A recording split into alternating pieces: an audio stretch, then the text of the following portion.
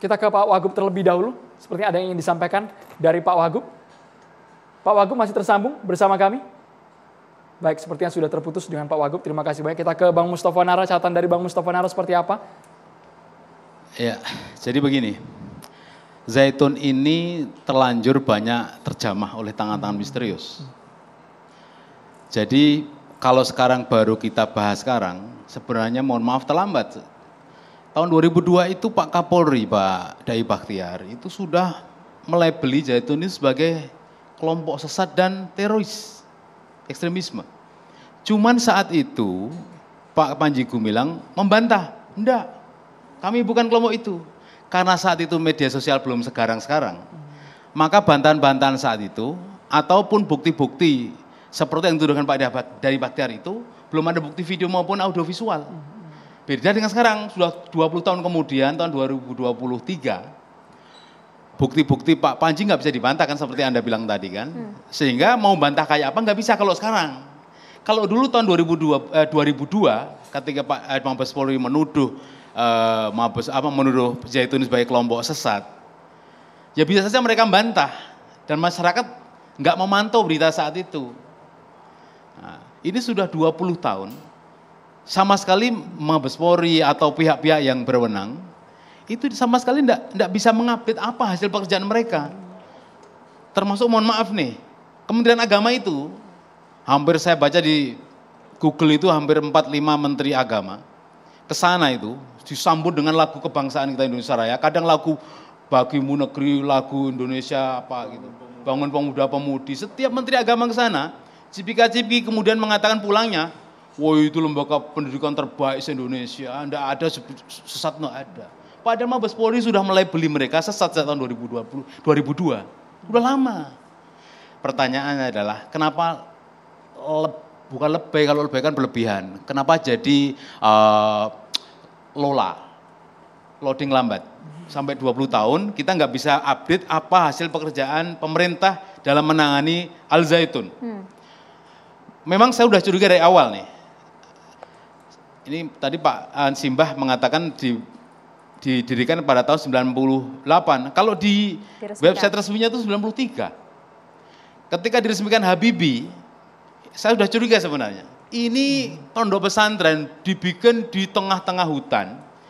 Anda kalau punya IT, coba cepat dari satelit itu bisa. Kemudian di mau di view dari mana aja bisa. Sekarang sudah sangat modern, dua tiga tahun lalu itu belum ada, menurut saya belum ada jalan yang seperti yang sekarang kita foto dari satelit itu. Sekarang sudah ada tuh jalan panjang, hmm. sangat mewah sekali. Yang kemarin di demo itu, pintu demo itu. Hmm. Misteri sebenarnya. Mereka mengaku tidak uh, kekurangan duit. Saya semalam membaca atau mendengarkan video pidato Pak Panji di depan para wisudawan itu loh, yang ada Pak Dalinskan itu. Setahun kita mengelola uang 500 lebih miliar itu yang gede, yang gede. Tapi aset yang dimiliki Zaitun itu lebih besar lagi tuh. Dari mana uangnya itu kan waktu itu? Dibangun di tengah hutan. Kenapa di tengah hutan? Maka pendemo-pendemo itu bakal gagal, nggak bakal apa awet, aman apa betah mendemo Zaitun. Itu ada mobil 2000 yang yang menghadang mereka. Ada orang-orang yang menghadang mereka. Saya tanya di media medsos saya, di IG saya. Coba tebak. Ribuan orang yang di dalam apa ini? Di dalam bangunan ini siapa mereka? Ini saya pertanyakan di IG saya, Instagram saya. Jawabannya macam-macam. Nah sayangnya ini rahasia publik. Yang disebut Pak Kumis tadi kan itu rahasia umum sebenarnya. Wong Pak Hendro Priyono itu pada tahun 2002 itu nantang kok. Siapa pun yang melawan Zaitun akan saya hajar. Itu Pak Hendro itu ada kan Anda buka di Google pun ada itu rahasia umum. Artinya semua orang tahu bahwa ancaman itu disampaikan oleh beliau itu. Ketika Pak Wiranto, eh siapa itu Pak siapa namanya? Eh, Muldoko. Mas ketika ke sana ini masih Pangdam tiga Siliwangi. Jadi masih pandang pandang, masih Pangdam. Ketika datang ke sana, kata Pak Muldoko apa? Saya datang sekali langsung jatuh cinta. Coba bayangin coba. Hasil pembicaraan, hasil salaman dengan Pak Panji Gumilang itu, Wah, kira-kira bahasa beliau ini karena hipnotis lah. Hipnotis itu kalau bahasa Malaysia itu pesona, jadi terpesona. Jadi saya setelah pulang, ini saya sekali, sekali ke sini terpesona. Bapak Said Agil Al-Munawar. Ke sana sekali juga. Padahal itu seharusnya dia meneliti tentang uh, ya ini wakil pemerintah ya Menteri Agama, beliau ini Pak Said Akil Al Munawar ini datang ke sana, pulang ya seperti menteri-menteri sebelumnya, terpesona tadi. Ini terbaik, ini terbaik. Suryawat Damali apalagi? Datang ke sana ya udah disambut dengan lagu apa kebangsaan, lagu nasionalisme.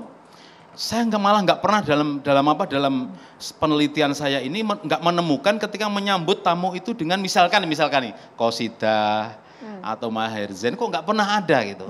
Malah ini yang paling berbahaya adalah lagu Israel ini. Ada apa ini kan? Maka ini misterius.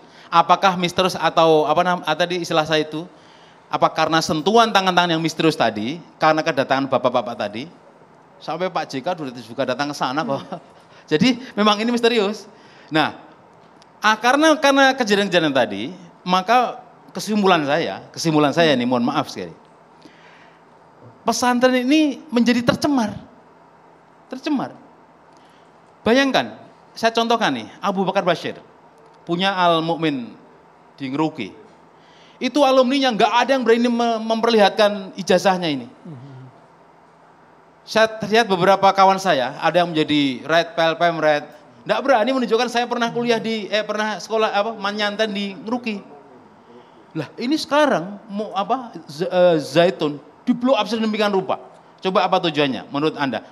Saya jelaskan. Tahun 2006 Saddam Hussein itu digantung. 2006 tanggal 30 Desember, saya masih ingat Kenapa digantung tanggal Desember? Karena tanggal itu seluruh dunia sedang Idul Adha. Sedang Idul Adha. Nah, lahirnya lahirnya apa namanya? Zaitun itu pada tanggal 10 Dhul Hijjah. Sekarang itu adalah hari-hari menjelang 10 Dhul Hijjah. Apa hubungannya uh, Al Zaitun dengan Saddam Hussein? Amerika itu pinter untuk menitip pesan menitipkan pesan ketakutan kepada dunia dia menggantung Saddam Hussein melalui kaki tangannya di Irak. Hakim-hakimnya itu orang kaki tangan Amerika semua, digantung pagi hari. Ketika kita sedang menyembelih kambing. Okay. Itu pesan ketakutan. Oleh karena itu, kalau Al Zaitun itu sudah tersentuh tangan, mohon maaf nih, intelijen, silahkan angkat tangan. Karena mereka anggarannya besar.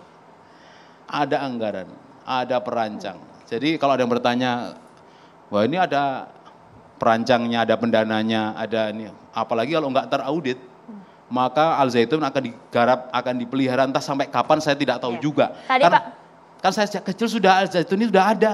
Jadi ini siapa yang memelihara ini? Ya. Kan langsung dikomentari. Oke. Okay. Uh, terima kasih ya.